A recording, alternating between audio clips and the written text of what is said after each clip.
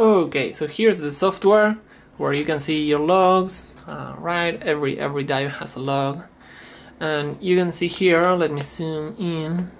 I know I should be doing a screencast, but I'm lazy. You see your your depth, and then you can also overlay the temperature. That's the yellow line. You can see the pressure, how it's dropping, uh, which makes sense. You can see the air consumption, the, the rate, which is cool.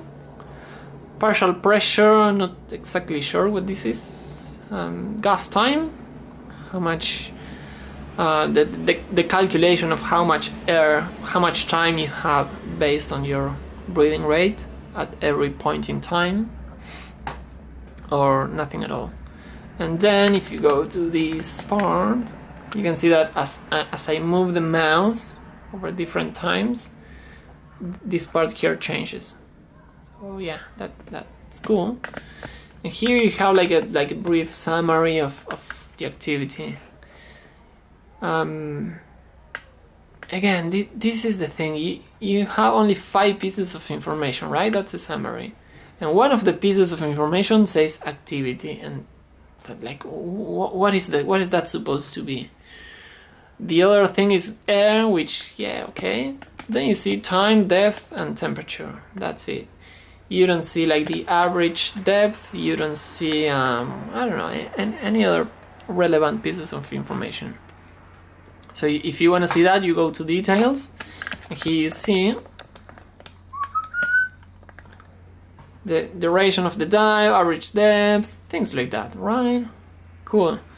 And then if you want to see at what time what time was this dive? Uh, I don't know, it's not there. So now you have to go up here to this little corner of the screen and that tells you the time. So again, it's, it's kind of like confusing. You have the information like all over the place. If you want to see the, um, the starting and finishing pressure, it's not here, forget about it, it's not there. Oh yeah, here it is. Sorry, my bad. But you have to go to another tab uh, whereas if you check the logs in the computer, let me show you this same dive. Press and hold, logs. Um, here it is, you have like a main description, then you press again and you see everything. You see the date, you see the time, you see the gas you used, you see the surface time, dive time, max depth, average depth, temperature, um, again everything's here. Everything is one is in one screen.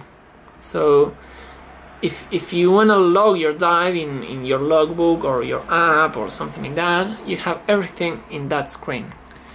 If you want to do the same thing using the computer you have to navigate through all these tabs and yeah I just I just hate this software. You can see how bad it looks.